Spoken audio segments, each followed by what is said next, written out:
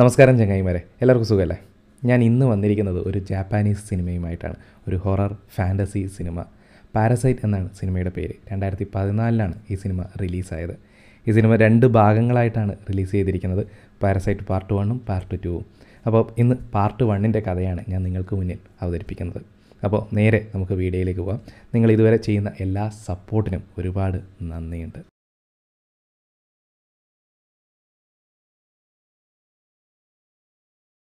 Cinema തുടങ്ങുന്നത് ഒരു രാത്രിയിലാണ്. അവിടെയുള്ള കടലിൽ ഒരു പ്രത്യേകതരം ജീവി ഇഴഞ്ഞു നീങ്ങുകയാണ്. ഇപ്പോഴത്തെ അവസ്ഥയിൽ പറഞ്ഞാൽ നമ്മുടെ കൊറോണയെ പോലുള്ള ഒരു രൂപം. അത് പൊട്ടി. അതിൽ നിന്നും പഴുതാര പോലുള്ള ജീവികൾ പുറത്തേക്ക് ഇറങ്ങുന്നു. സിറ്റിയുടെ പല ഭാഗങ്ങളിലേക്കായി അവ ചേക്കേറുന്നു. അതിനുശേഷം ആ ജീവി ഒരു അപ്പാർട്ട്മെന്റിലേക്ക് എത്തുന്നു. അവിടെ കിടന്നുറങ്ങുന്ന ഒരാളുടെ ചെവിയുടെ ഉള്ളിലേക്ക് അത് കയറി പോകുന്നു അയാൾ ഉറക്കത്തിൽ കിടന്ന് ഞരളവും മൂളും ഒക്കെ ചെയ്യുന്നുണ്ട്. പക്ഷെ തൊട്ടടുത്ത് കിടക്കുന്ന ഭാര്യ അത് ഉറക്കത്തിൽ സ്വപ്നം കണ്ടതാണെന്ന് കരുതിയിട്ട് അത് ശ്രദ്ധിക്കുന്നില്ല. അതിനുശേഷമാണ് നമ്മുടെ ഹീറോയെ കാണിക്കുന്നത്. അവനും നമ്മളെപ്പോലെ തന്നെ ഉറക്കത്തിൽ ഹെഡ്ഫോണൊക്കെ ചെവിയിൽ വെച്ച് കിടക്കുകയാണ്. ദേ ആ പഴുതാര പോലുള്ള ജീവി അവന്റെ അടുത്തേക്കും വന്നിരിക്കുകയാണ്. പക്ഷെ അതിന് ഇവന്റെ ചെവിക്കുള്ളിലൂടെ കയറാൻ പറ്റുന്നില്ല. കാരണം ഹെഡ്ഫോൺ വെച്ചിട്ടല്ലേ ഉള്ളത്. അപ്പോൾ അതിനുശേഷം അവന്റെ മൂക്ക് വഴി ഉള്ളിലേക്ക് കയറാമെന്ന് വിചാരിച്ച് അവന്റെ മൂക്കിലേക്ക് കയറുമ്പോൾ പെട്ടെന്ന് അവൻ ഉറക്കം ഞെട്ടുന്നു. മൂക്കിന്റെ ഉള്ളിൽ എന്തോ ഇറിറ്റേഷൻ ആയതുകൊണ്ട് തന്നെ ആ ജീവിയെ പിടിച്ച് അവൻ വലിച്ച് എറിയുന്നു. അതിനുശേഷം അതെന്താണെന്ന് നോക്കുന്നതിനിടയിൽ പെട്ടെന്ന് അത് അവന്റെ കയ്യിലേക്ക് കയറി വരുന്നു. കൈക്കുള്ളിലൂടെ ശരീരത്തിലേക്ക് കയറാൻ അത് ശ്രമിക്കുമ്പോൾ അവൻ കയ്യിലുണ്ടായിരുന്ന ഇയർഫോണിന്റെ വയറുണ്ടല്ലോ അത് കയ്യിൽ കെട്ടി ചുറ്റി അതിനെ കടക്കാൻ വിടുന്നില്ല. അവൻ പേടിച്ച് നിലവിളിക്കാൻ തുടങ്ങി. അയ്യോ അമ്മേ പാമ്പ് പാമ്പ് പാമ്പ്. ആ ശബ്ദം കേട്ടിട്ട് അവന്റെ അമ്മ അങ്ങോട്ടേക്ക് വരുന്നു. ഈ വയറൊക്കെ അഴിച്ചു കറിഞ്ഞിട്ട് എടുത്ത് നോക്കുമ്പോൾ ഒന്നും കാണുന്നൊന്നുമില്ല. അപ്പോൾ അവൻ ശ്രദ്ധിക്കുന്ന പാട്ട് കേട്ട് നോക്കും. ഇങ്ങനത്തെ ഓരോ കോപ്രായം കേട്ടിട്ടാണ് എനിക്ക് പിന്നെ രാത്രി സ്വപ്നം കാണുന്നതെന്ന് പറഞ്ഞിട്ട് അവനോട് കിടന്നുറങ്ങാൻ പറഞ്ഞിട്ട് അമ്മ അവിടെ നിന്ന് പോകും. അങ്ങനെ ആ ജീവി അവന്റെ കയ്യിൽ തന്നെ സെറ്റിലാവുന്നു നമുക്ക് ആ ജീവിയെ ഇനി മുതൽ അങ്ങോട്ടേക്ക് ഏലിയൻ എന്ന് വിളിക്കാം. അടുത്ത ദിവസം രാവിലെ ആവുന്നു. ആദ്യം ഈ ഏലിയൻ ചെവിക്കുള്ളിലേക്ക് കയറിപ്പോയ ഒരു മനുഷ്യനല്ലേ? അവനെ കാണിക്കുന്നു. അവൻ ഭാര്യയെ കണ്ട് അവളുടെ അടുത്തേക്ക് വരികയാണ്. ആഹാ സീൻ നടക്കാൻ പോവാണ് എന്നൊക്കെ പ്രതീക്ഷിച്ച് ഇങ്ങനെ ഇരിക്കുമ്പോഴത്തേക്ക് പെട്ടെന്ന് അവന്റെ മുഖം വിണ്ട് കീറി. ഒരു എന്തോ ഒരു ജീവി പോലെ ആയിട്ട് അവന്റെ ഭാര്യയുടെ തല കടിച്ചെടുക്കും. നമ്മുടെ നായകന്റെ പേര് ഷിനിച്ചി എന്നാണ്. അവൻ ഒരു സ്കൂൾ വിദ്യാർത്ഥിയാണ്. അവൻ അവന്റെ സ്കൂളിലേക്ക് പിറ്റേ ദിവസം രാവിലെ പോയിക്കൊണ്ടിരിക്കുകയാണ്. അതിനിടയിൽ അവന്റെ ഗേൾ ഫ്രണ്ട് അങ്ങോട്ടേക്ക് വരുന്നു. അവർ തമ്മിൽ സംസാരിച്ചുകൊണ്ടിരിക്കുന്നു അങ്ങോട്ടും ഇങ്ങോട്ടും കളിയാക്കുകയൊക്കെ ചെയ്യുന്നു. അതിനിടയിൽ നമ്മുടെ ഷിനിച്ചിയുടെ വലത് കൈ വലത് കൈ ഇപ്പം ഏലിയനാണല്ലോ അത് നമ്മുടെ നായിക അവിടെയും ഇവിടെയും ഒക്കെ പിടിക്കുന്നു. നായിക ദേഷ്യം വന്ന് അവനോട് ദേഷ്യപ്പെട്ടിട്ട് അവിടെ നിന്ന് പോവുകയും ചെയ്യുന്നു. നായകൻ എന്തോന്നാണ് ഇത്? എന്റെ കൈ സ്വയം ഓരോന്നൊക്കെ ചെയ്യുന്നത് എന്ന് പറഞ്ഞിട്ട് അന്തം വിട്ട് നിൽക്കുന്നു. അങ്ങനെ ക്ലാസ് റൂമിൽ അവൻ അതൊക്കെ ചിന്തിച്ചുകൊണ്ടിരിക്കുമ്പോൾ അവന്റെ റബ്ബർ താഴെ വീണു പോകും. അതെടുക്കാൻ വേണ്ടിയിട്ട് അവൻ കുനിഞ്ഞ് നോക്കുന്നു പക്ഷേ കൈ എത്തുന്നില്ല പെട്ടെന്ന് ആ കൈ റബ്ബർ പോലെ നീണ്ടുപോയി ആ റബ്ബർ എടുത്തിട്ട് വരുന്നു. അവനാകെ വണ്ടറടിച്ചു പോയി. അതൊക്കെ കഴിഞ്ഞ് അവൻ വോളിബോൾ കളിച്ചുകൊണ്ടിരിക്കുകയാണ് അതിനിടയിൽ കൈ കിട്ടിയ ബോൾ അവൻ പോലും അറിയാതെ അത്രയും ദൂരെ നിന്നിട്ട് വലിച്ചെറിഞ്ഞ് അതിന്റെ ബാസ്ക്കറ്റിലേക്ക് ഇടുന്നു. സോറി ഞാൻ വോളിബോളാണെന്നാണ് അല്ലേ പറഞ്ഞത്? ബാസ്ക്കറ്റ് ബോളായിരുന്നേ മുപ്പത്തിരണ്ട് നാവിനിടയിലുള്ള ഒരു പല്ലല്ലേ തെറ്റിപ്പോവും. ക്ഷമിക്കുക.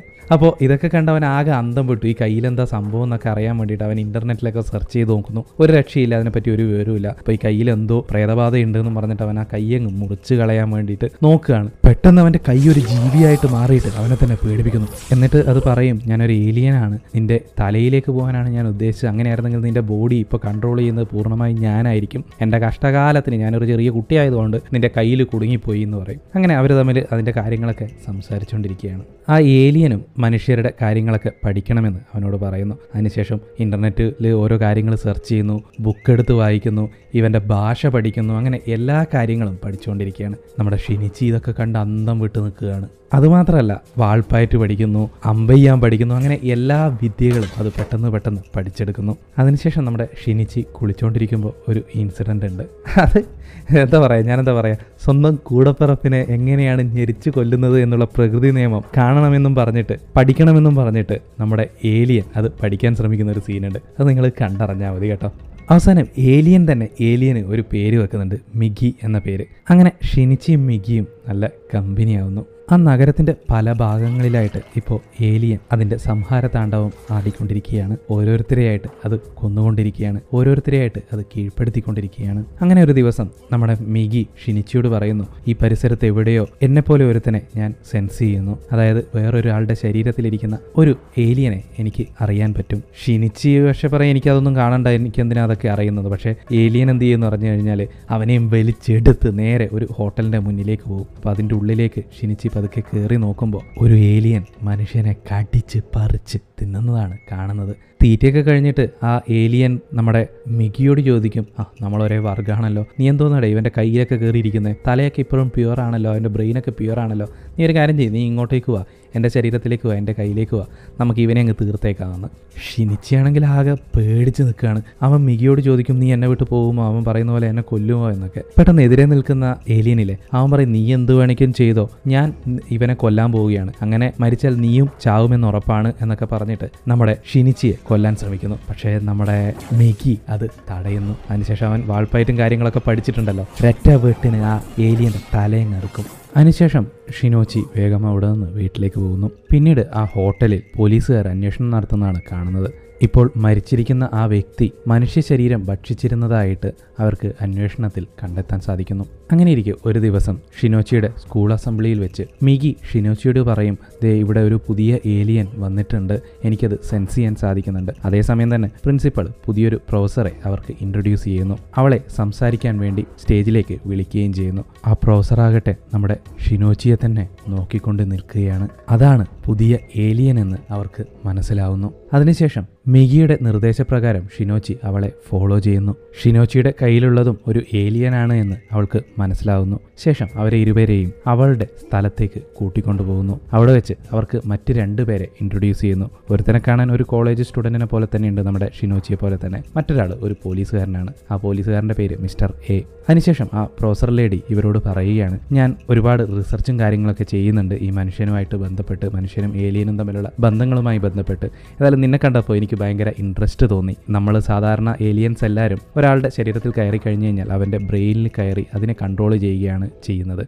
പക്ഷേ നിന്റെ കാര്യത്തിൽ അത് ടോട്ടലി ഡിഫറെന്റ് ആണ്. നീ അവന്റെ കയ്യിലാണ് ജീവിക്കുന്നത്. അതുകൊണ്ട് അതിനെപ്പറ്റി കൂടുതൽ അറിയാൻ വേണ്ടിയിട്ട് മാത്രം നിന്നെ ഞാനിപ്പോൾ വെറുതെ വിടുന്നു. ഇല്ലെങ്കിൽ നിന്നെ കൊന്നേനെ. അതുപോലെ എന്റെ വയറ്റിൽ ഒരു മനുഷ്യ കുഞ്ഞ് ജീവിക്കുന്നുണ്ട്. ഞാനും മിസ്റ്റർ എയുമായിട്ട് ആ ഒരു തരത്തിലുള്ള ബന്ധമായിരുന്നു. അതുകൊണ്ട് തന്നെ ജനിക്കാൻ പോകുന്നത് മനുഷ്യക്കുഞ്ഞാണോ ഏലിയൻ കുഞ്ഞാണോ എന്ന് എനിക്ക് അറിയണം അങ്ങനെയുള്ള ഒരു റിസർച്ചിന് പിന്നാലെയാണ് ഞാൻ. എന്നും ആ പ്രൊഫസർ പറയുന്നു. അതിനുശേഷം മിസ്റ്റർ എയോട് പറയുന്നു അവരെ വെറുതെ വിട്ടേക്ക്. അവരെ ഒരു കാരണവശാലും ഡിസ്റ്റർബ് ചെയ്യരുത്. എനിക്ക് അവനെ പറ്റി കൂടുതൽ റിസർച്ച് ചെയ്യണമെന്ന്. പക്ഷേ ഈ മിസ്റ്റർ എ എന്ത് ചെയ്തു എന്നറിയാം? അവർ പറയുന്നൊന്നും കേൾക്കാതെ നമ്മുടെ നായകനെയും മികിയെയും ഫോളോ ചെയ്യാൻ തുടങ്ങി. അങ്ങനെ ഒരു സ്ഥലത്ത് വെച്ച് രണ്ടുപേരും തമ്മിൽ ഫൈറ്റ് ചെയ്യുന്നു. പക്ഷേ നമ്മുടെ മിഗി പാവം കൊച്ചല്ലേ? മിസ്റ്റർ എയിലുള്ള ഏലിയനാവട്ടെ ഭയങ്കര പവർഫുള്ളാണ് അതുകൊണ്ട് മിഗി എന്താ ചെയ്യുന്നതെന്ന് പറഞ്ഞു കഴിഞ്ഞാൽ അവൻ അടിക്കുന്ന ഓരോ അടിയും ഇവൻ തടുത്തുകൊണ്ടിരിക്കുകയാണ്. അതായത് വെറുതെ ഡിഫെൻസ് ചെയ്തുകൊണ്ടിരിക്കുകയാണ്. അതിനിടയിൽ നമ്മുടെ നായകനാവട്ടെ പേടിച്ച് വിറച്ച് നിൽക്കുകയാണ്. അപ്പോൾ മിഗി അവനോട് പറയുന്നുണ്ട് നീ മുന്നോട്ടേക്ക് മുന്നോട്ടേക്ക് പോകും അങ്ങനെയാകുമ്പോൾ മാത്രമേ എനിക്ക് അവനോട് ഫൈറ്റ് ചെയ്യാൻ സാധിക്കുകയുള്ളൂ എന്ന് പറയുന്നു. അവൻ പേടിച്ച് പേടിച്ച് തലയും താഴ്ത്തി മെല്ലെ മെല്ലെ മെല്ലെ മുന്നോട്ടേക്ക് പോകുന്നു. പെട്ടെന്ന് മിഗി അവനോട് പറയും കയ്യിലൊരു കമ്പി എടുത്തിട്ട് അവനിട്ട് ഒരു കുത്തു കൊടുക്കാൻ പറയും. ഇവനും പെട്ടെന്ന് അത് പറഞ്ഞത് അനുസരിക്കും മിസ്റ്റർ എയുടെ നെഞ്ചിലേക്ക് കുത്തിയിറക്കും ചോരയൊലിപ്പിച്ച് അവൻ അവിടെ കിടന്ന് മരിക്കും. അങ്ങനെ അതിനുശേഷം നമ്മുടെ ഹീറോ അവിടെ നിന്നും പോകുന്നു. അടുത്ത സീനിൽ നമ്മൾ കാണുന്നത് മാർക്കറ്റിലേക്ക് പോയിരുന്ന ഷിനിച്ചിയുടെ അമ്മ അതുവഴി നടന്നു പോകുന്നതാണ്. ആരോ രക്തത്തിൽ കുളിച്ചു കിടക്കുന്നത് കണ്ട് സഹായിക്കുന്നതിന് വേണ്ടിയിട്ട് അവർ അങ്ങോട്ടേക്ക് പോകുന്നു. ആ സീൻ അവിടെ കട്ടാവുന്നു രാത്രി നമ്മുടെ നായകൻ നന്നായിട്ട് ഉറങ്ങുകയായിരുന്നു. അതിനിടയിൽ നമ്മുടെ മിക്കി എഴുന്നേറ്റ് ദേ ഇവിടത്തേക്ക് ഒരു ഏലിയും വരുന്നുണ്ട്. അത് അത് അടുത്തെത്തി. ദേ വാതിൽ തുറന്നു എന്നൊക്കെ പറഞ്ഞിട്ട് ഇവനോട് ഇങ്ങനെ പറഞ്ഞുകൊണ്ടിരിക്കുകയാണ്. അപ്പാട് അവൻ ഞെട്ടിപ്പോയി എന്നിട്ട് ആരാണെന്ന് നോക്കാൻ വേണ്ടിയിട്ട് വാതിലിന്റെ അടുത്ത് പോയിട്ട് ഇങ്ങനെ ഒളിച്ചു നിൽക്കുകയാണ്. ആ സമയത്ത് വാതിൽ തുറക്കുന്നു. അകത്തേക്ക് വരുന്നത് അവന്റെ അമ്മയാണ്. ദേ ദേ നിന്റെ അമ്മയുടെ ശരീരത്തിലാണ് ഏലിയൻ കയറിയിട്ടുള്ളത്. വേഗം അവളെ കൊല്ലുക അങ്ങനെ ഇങ്ങനെയെന്നൊക്കെ മിഗ്ഗി പറഞ്ഞുകൊണ്ടിരിക്കുന്നുണ്ട്. പക്ഷേ സ്വന്തം അമ്മയെ കൊല്ലാൻ മകന് സാധിക്കുമോ? അവൻ ആ ഒരു വിഷമത്തിൽ നിൽക്കുകയാണ്. അവനങ്ങനെ ചിന്തിച്ചുകൊണ്ടിരിക്കുമ്പോഴത്തേക്ക് അവന്റെ അമ്മയുടെ ശരീരത്തിലുണ്ടായിരുന്ന ഏലിയൻ അവന്റെ നെഞ്ചിലേക്ക് ആ ഏലിയന്റെ കൈ കുത്തിയിറക്കുന്നു. ചോര വാർന്നൊഴുകി മരിച്ചതുപോലെ നമ്മുടെ നായകൻ അവിടെ കിടക്കുകയാണ്. രണ്ട് ദിവസത്തോളം അവൻ അതേപോലെ കിടന്നു. അപ്പോൾ നമ്മുടെ മിഗ്ഗി എന്ത് ചെയ്തു എന്ന് പറഞ്ഞു കഴിഞ്ഞാൽ അവന്റെ ശരീരത്തിലെ സെല്ലുകളായിട്ട് അവൻ മാറി. ശേഷം അവന്റെ ആ മുറിവുകളൊക്കെ ഉണക്കി അവനെ ജീവിതത്തിലേക്ക് തിരിച്ചു കൊണ്ടുവരുന്നു. നമ്മുടെ നായകനെ ഭയങ്കരമായിട്ട് ദേഷ്യം വരുന്നു. അവന്റെ അമ്മയെ വിചാരിച്ച് വളരെയധികം സങ്കടവും ഏലിയനെ ഞാൻ കൊല്ലാതെ വിടില്ല എന്ന് പറഞ്ഞുകൊണ്ട് നെല്ല വിളിക്കുകയാണ് ആ പാവം. ഷിനിച്ചി ഉടൻ തന്നെ ആ പ്രൊഫസർ ലേഡിയിലെ പുള്ളിക്കാരിയുടെ അടുത്തേക്ക് പോകുന്നു. എവിടെ അവൻ? അവനെ ഞാൻ കൊല്ലാതെ വിടില്ല എന്ന് അവളോട് പറയുന്നു. അപ്പോൾ അവൾ പറയും എനിക്കറിയില്ല. നീ തന്നെ പോയി അന്വേഷിക്കാൻ നോക്ക്. അപ്പോൾ ഷിനിച്ചി പറയും ഞാൻ നിന്നെയും കൊല്ലും. അപ്പോഴേക്കും ആ പെണ്ണിന്റെ ശരീരത്തിലുള്ള ഏലിയൻ മെല്ലെ പുറത്തേക്ക് വന്ന് ഇവനെ പേടിപ്പിക്കുന്നു. അവനും ചെറുതായിട്ടൊന്ന് പേടിക്കുക ചെയ്യും. എന്നാലും അവൻ കയ്യിലുണ്ടായിരുന്ന ഒരു കത്തി അവളുടെ നേരെ വലിച്ചെറിയും. അവൾ അത് മുടി കൊണ്ട് നൈസായിട്ട് പിടിച്ചെടുത്തിട്ട് ഇവന് നേരെ തിരിച്ചറിയും. ഡേ പയ്യൻ അധികം എന്നോട് കളിക്കാൻ നിൽക്കരുത്. നിന്റെ ഈ ട്രിക്കൊക്കെ നിന്റെ കയ്യിൽ തന്നെ വെച്ചാൽ മതി. നിനക്ക് വേണമെങ്കിൽ നീ പോയി അന്വേഷിച്ച് കണ്ടുപിടിക്കാൻ നോക്ക്. എന്നിട്ട് കൊന്നോ. അല്ലാതെ എന്റെ നേരെ വന്നിട്ട് ഈ ഡയലോഗ് അടിയൊന്നും വേണ്ടാന്ന് പറഞ്ഞിട്ട് നൈസായിട്ട് പുള്ളിക്കാരി അവിടെ നിന്ന് ഇറങ്ങി അങ്ങ് പോകും. അതിനുശേഷം നമ്മുടെ നായകൻ ഒരു പബ്ലിക് പ്ലേസിലൂടെ നടന്നു പോവുകയാണ്. അപ്പോൾ അവിടെ ഒരു രാഷ്ട്രീയക്കാരൻ നിന്ന് കവലപ്രസംഗം നടത്തുന്നുണ്ട്. ഒരുമാതിരി തൊള്ള പൊളിച്ച് സംസാരിച്ചുകൊണ്ടിരിക്കുന്നുണ്ട് ഇവിടുത്തെ രാഷ്ട്രീയക്കാരെ പോലെ തന്നെയാണ് പുള്ളിക്കാരനും. അപ്പോൾ നമ്മുടെ മിഗി പറയുന്നതേ ആ രാഷ്ട്രീയക്കാരന്റെ ശരീരത്തിലും ഒരു ഏലിയൻ പ്രവേശിച്ചു കഴിഞ്ഞിട്ടുണ്ട്. ആ ഏലിയനെ ഈ നാട് തന്നെ ഭരിക്കണമെന്നാണ് ആഗ്രഹം. അതുകൊണ്ടാണ് അവൻ ഒരു രാഷ്ട്രീയക്കാരന്റെ ശരീരത്തിലേക്ക് കയറിയിരിക്കുന്നത്. എന്ന് മിഗി ഷിൻജിയോട് പറയുന്നു.